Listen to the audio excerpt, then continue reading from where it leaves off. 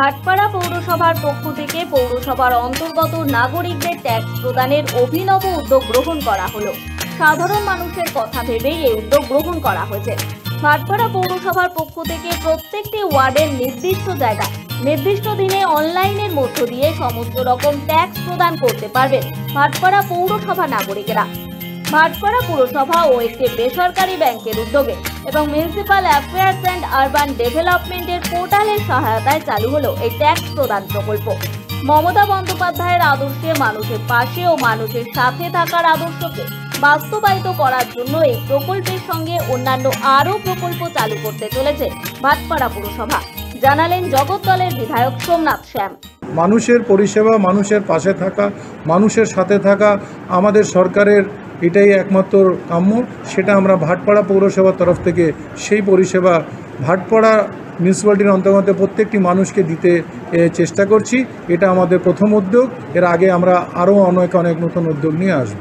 পাশাপাশি কোনো নাগরিকের সমস্যা থাকলে নির্দিষ্ট নম্বরে ফোন করলে বাড়িতে পৌঁছে যাবে পৌরকর্মীরা। সেখান থেকেই অনলাইন পেমেন্টের মধ্য দিয়ে বিল প্রদানের ব্যবস্থা করা হয়েছে পৌরসভার উদ্যোগে। এমনটাই জানালেন বিধায়ক সোমনাথ শ্যাম। তিনি আরও জানান, ভাটপাড়া পুরসভায় বেশ কয়েকটি কাউন্টার খোলা হবে, যেখানে বরিষ্ঠ নাগরিক থেকে শুরু করে মহিলা ও সাধারণ মানুষেরা বিভিন্ন ধরনের পরিষেবা পাবেন খুব তাড়াতাড়ি। পাশাপাশি ভাটপাড়া পুরসভাকে মডেল পুরসভা হিসেবে মানুষের সামনে তুলে ধরতে চাই আমরা। শুধুমাত্র এটাই নয় অনলাইন ছাড়া। এছাড়া আমাদের এখানে ভাটপাড়া পৌরসভায় যে কাউন্টার্স আছে, আগে আমাদের একটাই কাউন্টার ছিল আজ থেকে আমাদের তিনটে কাউন্টার চালু হচ্ছে একটা জেনারেল কাউন্টার একটা হবে আমাদের যারা সিটি সিনিয়র সিটিজেন আছেন, তাদের জন্য একটি কাউন্টার আর একটা হচ্ছে যারা মহিলারা আসবেন, তাদের জন্য একটা কাউন্টার যারা ভাটপাড়া পৌরসভার অন্তর্গত এসে ট্যাক্স দিতে চাইবেন, তারা এই সুবিধাটাও পাবেন।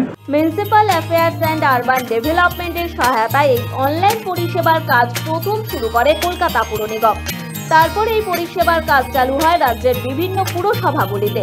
তবে আপাতত এই পরিষেবা পাবে ভাটপাড়ার এক থেকে পঁয়ত্রিশ নম্বর ওয়ার্ড পর্যন্ত।